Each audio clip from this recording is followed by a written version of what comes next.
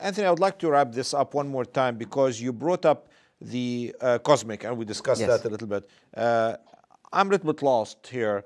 Tell us, because if I do recall, the uh, design of the study is uh, combination versus single agent cabo versus single agent sorafenib. Tell us a little bit. You can maybe dissect that a little bit further. Sure.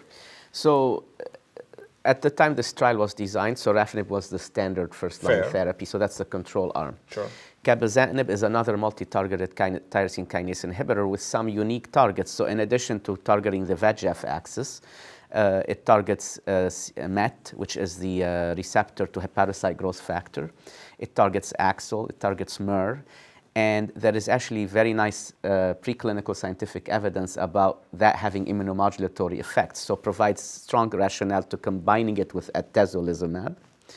And then there is an arm exploring cabozantinib as a single agent to separate whether you know the combination is really providing additive or at least additive or maybe synergistic effect versus cabozantinib alone.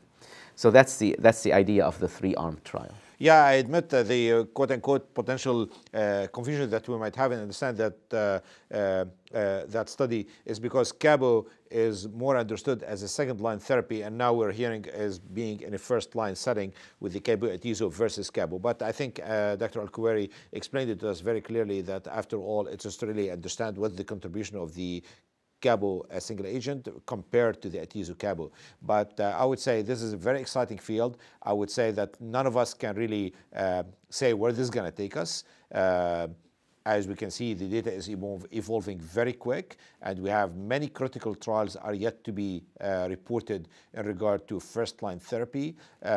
Uh, and if anything, at the moment, we have the atezolizumab, as we heard, and we kind of summarized that data for you.